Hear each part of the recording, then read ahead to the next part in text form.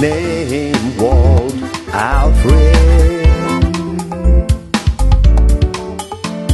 Reaching the world in the name of Jesus. We look at what God's procedures are. We look at all of those factors. A couple of these things, a good number of them, we'll take our time uh, to look at it. If you throw an object into the air, it comes down. It obeys the law of gravity. Whatever goes up must come down. And so, if I expected something to come down, I simply throw it up and depend and believe that the law of gravity will have its place and bring it down. That's the point. If I'm trying to make manufacture things that have to go up and come down, I would believe I would depend on some force to make that happen. I would depend on some uh, uh, principles that are operational already to make that happen. And so I won't, within the answers and miracles, any of the times in which I take the answers and miracles, present you with spiritual principles. Spiritual principles that make a whole lot of difference in the life of an average believer. And today, I will just bring principle one do it. The principle one do it. Do what he says. Miracles will come very easy in your life when you follow these simple principles. These principles are not rigorous. Jesus said, My commandments are not grievous. So many times we want to live our lives and get blessed and get a lot of the things that the Lord is doing, but we think it comes with too much struggle. We think it comes with a lot of uh, battles, a lot of fightings, and all. No, it doesn't. He said, My commandment, my demands on your life, my demands, my requirements are not grievous, which entails that He has made them so easy that if you are having difficulty with living with them, there is something wrong with how you are interpreting that commandment. There's something wrong with how you are interpreting that principle. He clearly says that His commandments, His principles for your living are not grievous. They are not burdensome. They are not hectic. They are not destructive. They are not, they, are not disheartening. They will not hurt you. They will not damage you. They are very easy. He said, Take my yoke upon you, for my yoke is easy and my burden is light. Even if I'm going to give you some kind of burden, I'm giving you a bearable burden. I'm giving you a burden that I understand that you can handle. So Jesus is not giving you something that is bigger than your capacity. He's not laying weight on you that will crush you under. He's not asking you to do things to get blessed that are beyond your capacity. In fact, He looks at your capacity, He looks at your ability, and He gives things to you based on that ability. The one talent, the man with the one talent did not know that if he was given beyond one talent, he would have killed himself. If he, was, if he was given beyond one talent, he would have had it become a burden to him. The prosperity, the excesses given to a foolish man, the abundance in the hands of a foolish man destroys him. The too much, the plenty that a foolish man has this is his destruction. You see, if you give a wise man lots of money, will go build houses and maybe buy good cars and a couple of things. He give the same amount of money to a foolish man. He will go himself and buy bombs and rifles and guns and start blowing people around in pieces. Because he's a fool. He is spending even more money than even a wise man is spending to impact life and change people.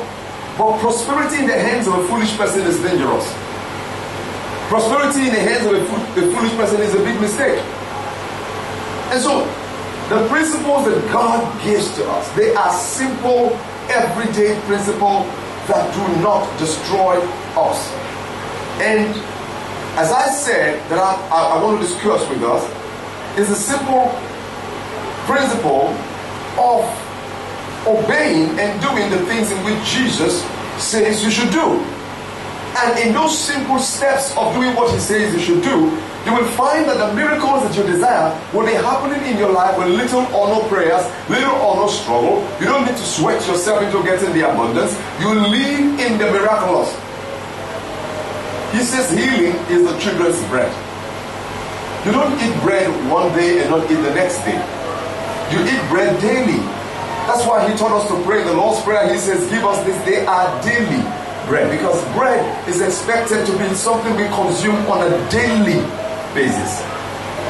And so healing, if it is the children's bread, is supposed to be administered to us on a daily basis. We should be living in the miraculous on a daily basis.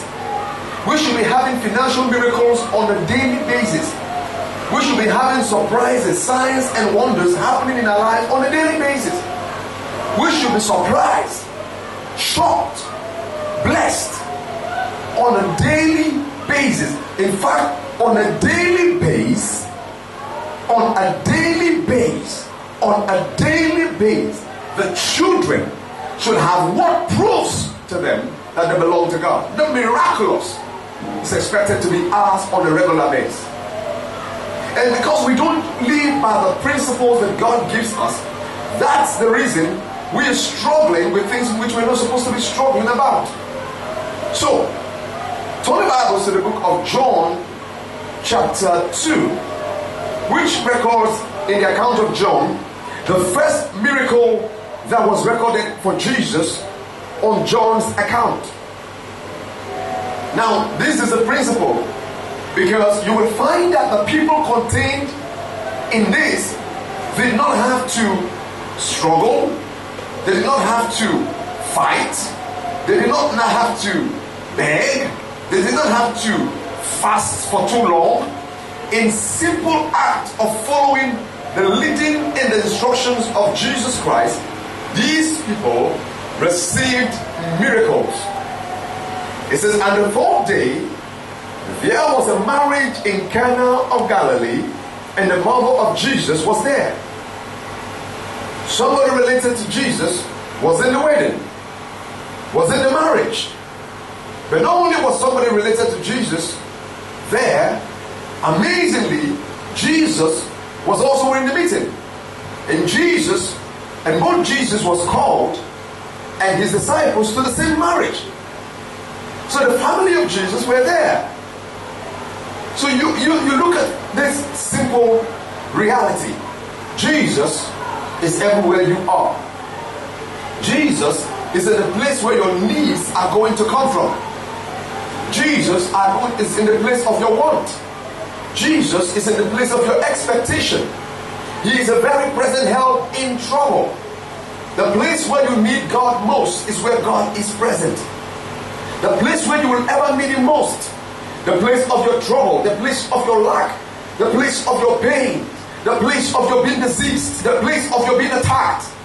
The Bible says, Yea, though I walk through the valleys of the shadow of death, I fear no evil, for thou art with me. If there is any place you can have a guaranteed presence of God, it's in the bad places, it's in the wrong places, it's in the negative places, it's in the challenging places, it's, it's, it's in the difficult places. Few of us think we can only find the presence of God in church. But this says it's a very present help in trouble. Even when you go out of church, when you are in, in, big, in a big mess, that's where mercy shows up. In your blindness, that's where your vision, that's where the light shows up. In your hunger, that's where the bread of life shows up. In your test, that's where the rivers of living water shows up.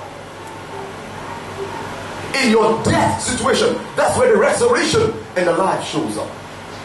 It's in the midst of your trouble that He is manifested. Not just it was Mary invited, but Jesus was called. Jesus showed up in the same way. Praise God. Now the Lord is going to show up in your life in the place where you need it most. Amen. So when there is so much money in your pocket, you probably wouldn't even know He's there. It's in the season of your lack and in the season of your nothingness that He shows up to make those things that are nothing to be something. He chooses the foolish things of the world to confound the wise. He chooses the nothings to confound the some things. So he said, the time when you think that you're a nobody, and you think that you're a failure, and you think that there's nobody by your side, when you think you have nobody, the, the guy, the man by the pool of Bethesda for 38 years, he looked at Jesus and said, I have no man. At the time you think you've got nobody, that's where Jesus shows up. Because there is going to be a need in your life, Jesus shows up. Because there's going to be a want in your life, Jesus shows up. The Lord is my shepherd, I shall not want. My wants get eliminated because the shepherd shows up. With the presence of the shepherd, my wants disappear. In the presence of the shepherd, my needs vanish. Jesus is always going to show up. And He's in our lives today. It's in my life today.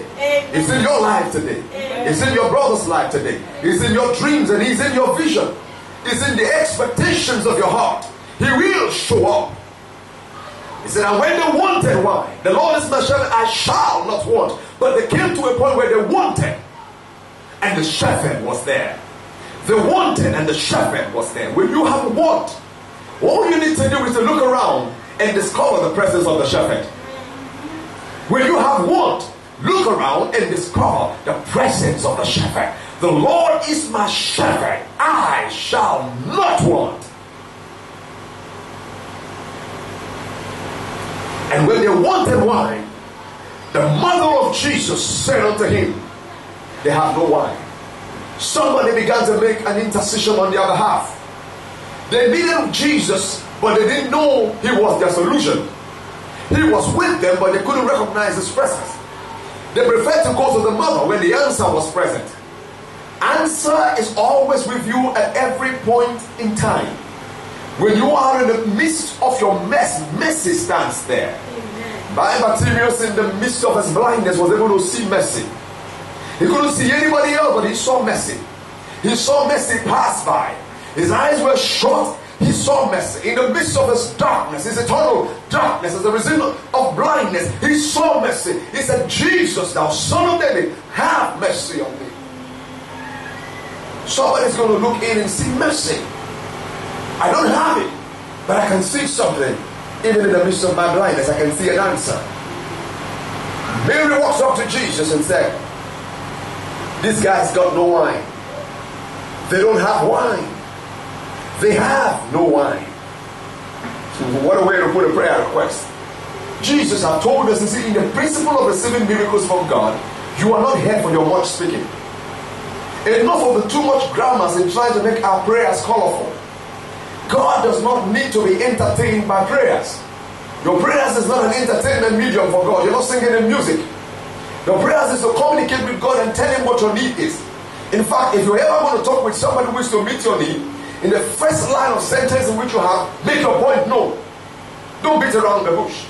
Your second sentence, you might not have a listening ear. If you walk up to somebody who's going to listen to you, and say, What's your problem? And you start talking all the stories around and beating around the bush and getting all the fanciful stories, this guy's going to get bored and walk off you. In one sentence, tell God what your needs are. In one sentence, if you want to tell him, let this car pass away from me, tell him all right. If you want to tell him, nevertheless, not my will be done, but your will be tell him all right. Mary just walked up to Jesus and said, They have no wine. And she was gone. She didn't hang around because she didn't expect a no. Come on, somebody, she didn't expect a no.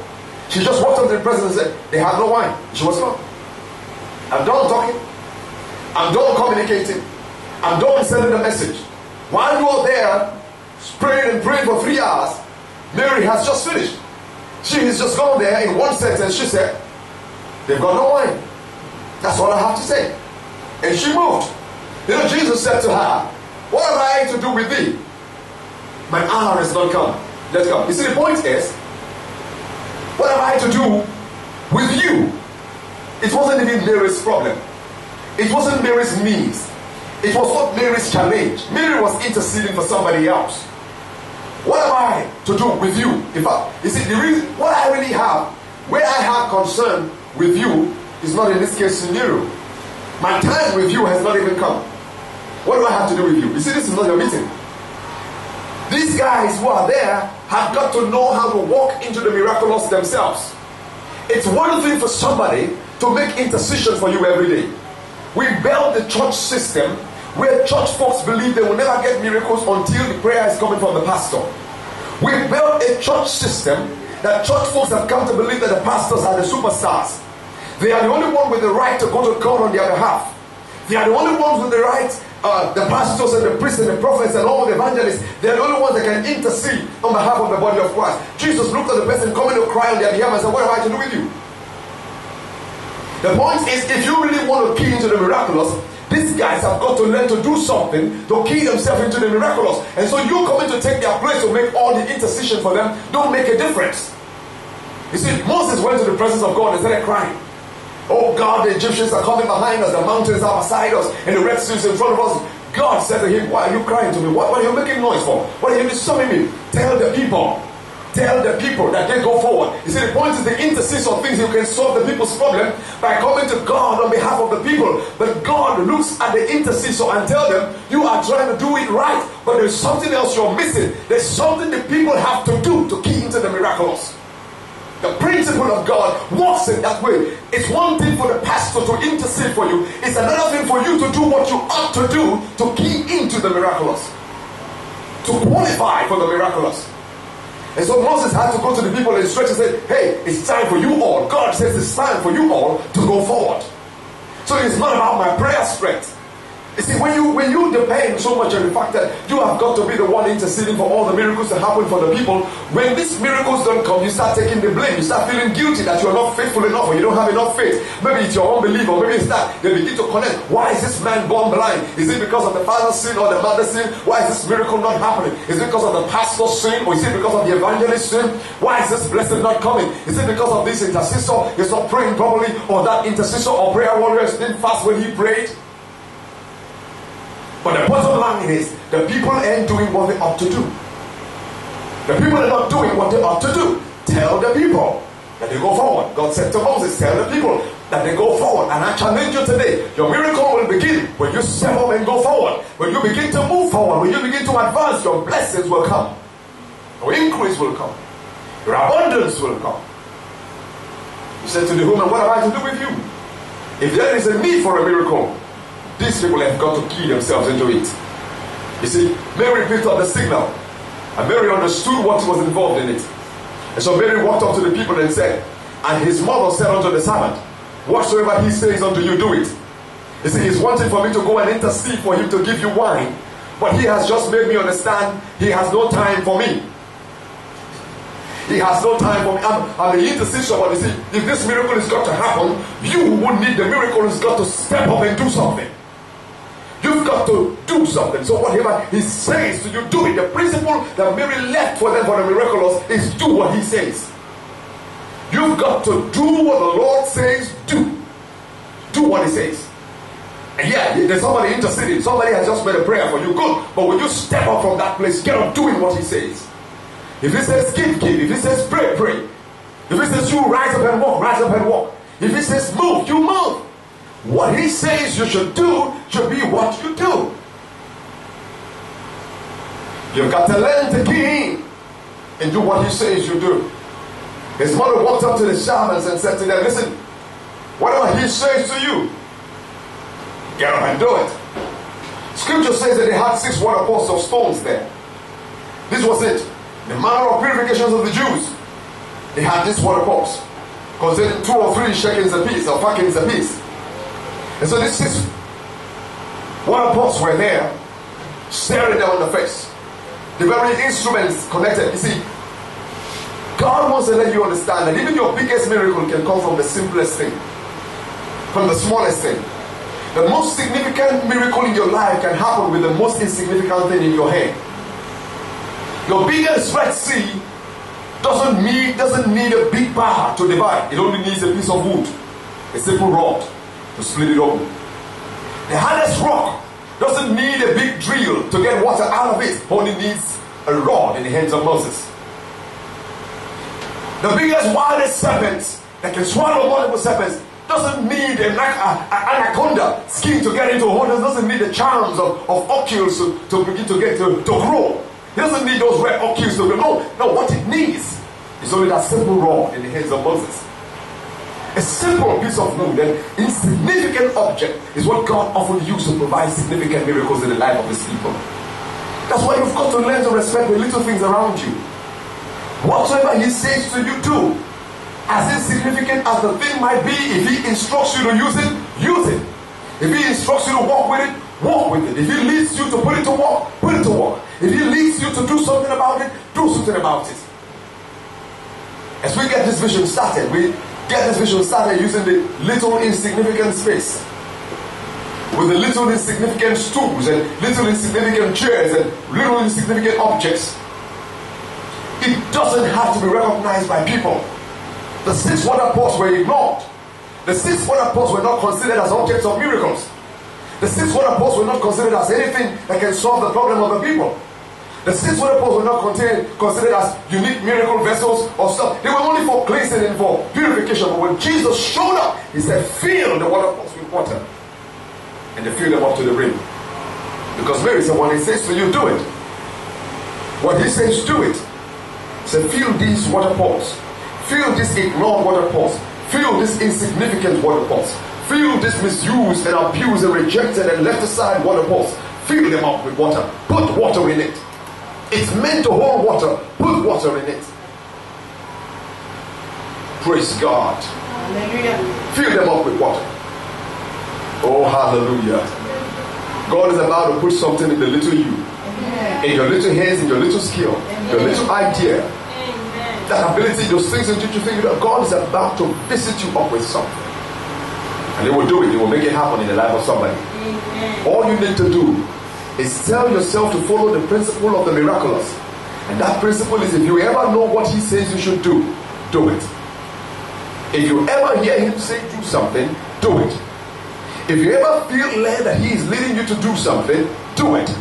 If you ever get motivated that He's challenging you to do something, do it. He said to them two things. The first thing he said, fill it with water, and they filled it with water. That looks easy. He said a lot of times he gives you assignments that are easy. Things that don't challenge your moral belief, don't challenge your education. He gives you revelation that don't challenge your education. But soon after, he's going to give you revelation that challenges your education. Yeah, he's going to do that. He starts with easy. He starts with he starts with soft. He says you put water in a water pot. What's so different? What's so difficult in putting water in a water pot? It's a regular thing. What's so abnormal with putting water in a water pot? What's so abnormal in rising up and walking? What's so abnormal in taking up your bed to walk? What's abnormal is when you're saying to a lame man. Yeah. What's, that, what's abnormal when you tell somebody, get up, move? It's when you're saying it to a blind man. What's abnormal when you say, rise up and walk? What's abnormal about it is when you're saying it to somebody who has never walked from his birth. So there are easy things when Jesus talks to easy things.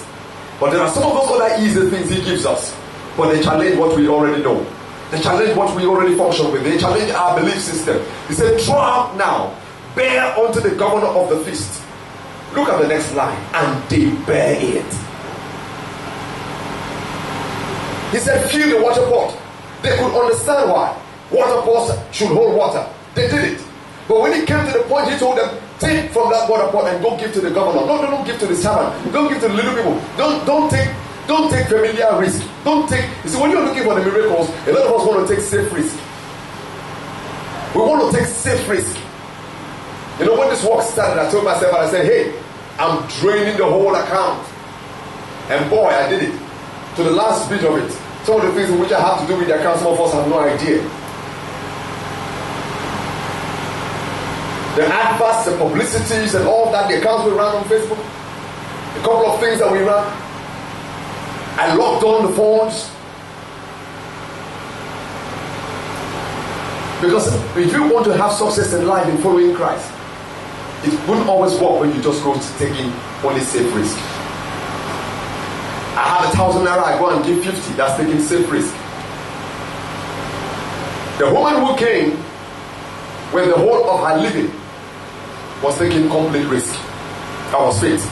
Faith risk is bigger than safe risk. Faith risk. She came, she gave the whole of her living. The might she put in church should have bought her a bread. The might she put in church should have fed her for the weekend. The might she put in church, but she took a faith risk. You always gave out of the abundance. Out of the abundance, they gave a safe risk. The Zarephath widow, Elijah said, Give it to me to eat first. And she took a faith risk. A safe risk will be giving out a plate of food out of the kitchen where you have plates of food.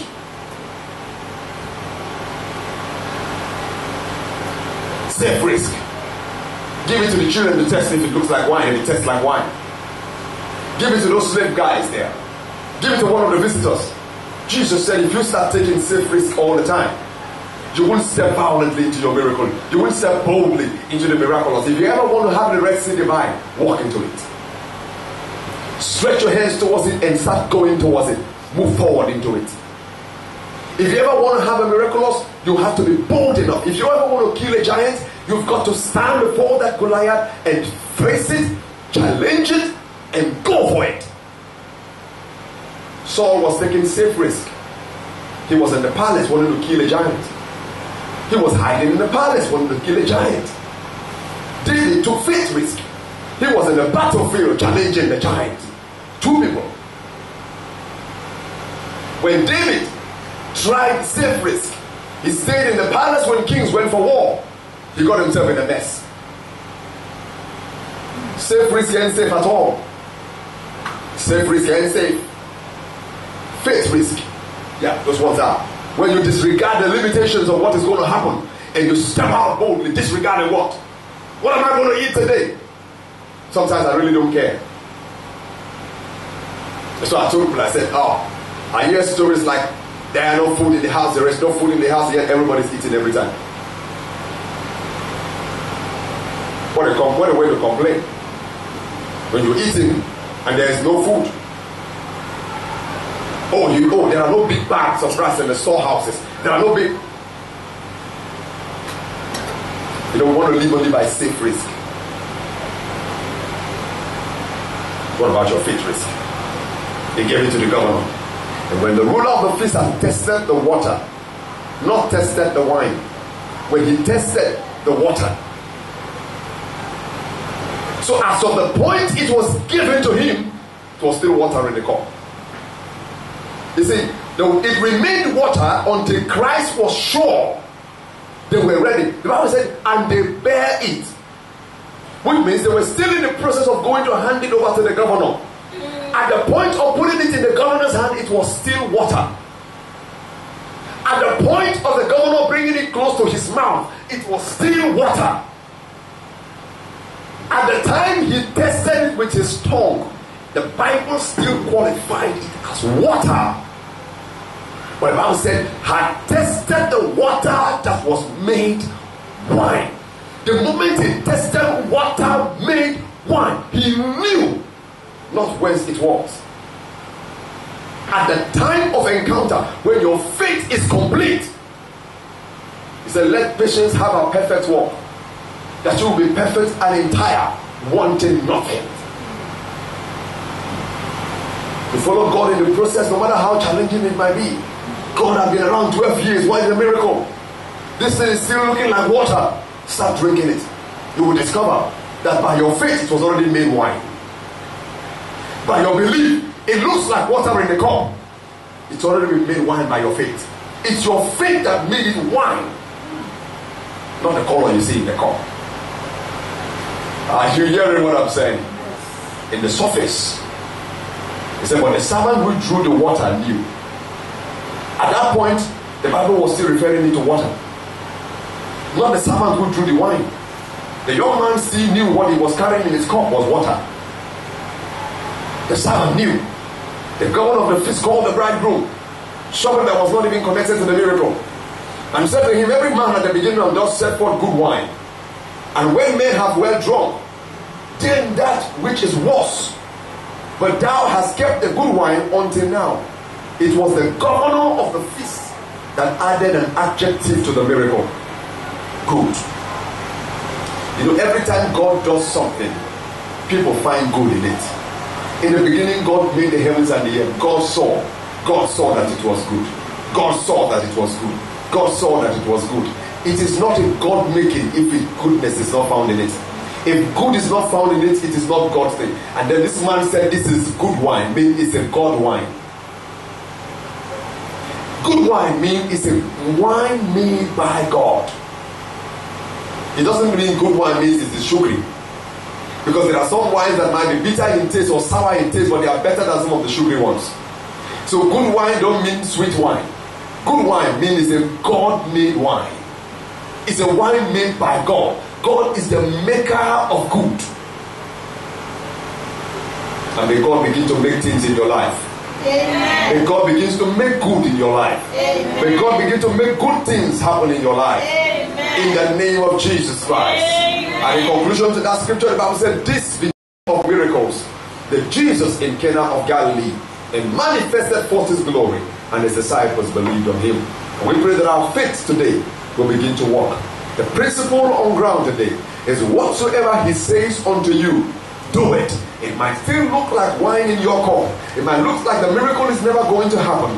But already when if you believe it, your faith makes it wine before you test it. Your faith makes it wine before you ever drink it. It's your faith. It's your faith. It's your faith that brings good out of that water and makes it a good wine. In the name of Jesus Christ. Amen. We will intercede. We will pray today. But in it all, don't forget and don't fail to realize this one reality and this one truth. Whatever He says to you, do it. Your miracle is just a principle away. If you follow the simple principle, you'll be walking in the miraculous. Let us pray. Blessed God, hallelujah. We give you praise. Hallelujah. Thank you, Jesus. Somebody's always got water here. Somebody's got insignificant water pot. Somebody's got a need and a demand. Somebody's got a longing. Somebody's got a desire. Somebody's got a planning. Somebody's got a longer hope. Somebody's needing a miracle. Somebody needs a blessing. Somebody needs an increase. Somebody has a vision and an idea. Somebody's got a planning, something that he believes God has to enlarge, God has to expand, has to increase, has to make food. And, oh, somebody here in this place has got a need. It's got a wanted. It's got a it's got a goal. Somebody, doesn't matter what it is you want. That insignificant planning goal, that water pot, that's a fill water into it. Put your faith in it. Come on, somebody. Put your faith in that water pot. Put the little you've got. Put that little you've got, that insignificant little you've got. God is about to look in it and put goodness and add goodness to that plan and add goodness to that dream, add goodness to that desire, has goodness to that very longing of your heart. There is a lacking, there is a void, there is too much copying, there is too much imitation. You're not doing what you have to do, you're doing what someone else had to do, you're doing what someone has been instructed to do, you're doing what other people have been told to do. What have you to do? Paul said, Lord, what would you have me to do? And Jesus said, Go, and I will show you what you must do. It's a standing principle. It cannot be voided. It cannot be voided. It cannot be faulted. It cannot be faulted. The sons of Issachar were those who commanded their generation, for they knew what Israel must do. They were the ones sensitive to God hearing what Israel must do. And that's why they commanded generations because they knew what had to be done. Whatsoever he says unto you, do it. There is power, there is miracle in knowing what to do. May you know what to do. May he brings you to the place where you get to know what to do and do what you ought to do and do what you have to do and do what you should do and do what you must do.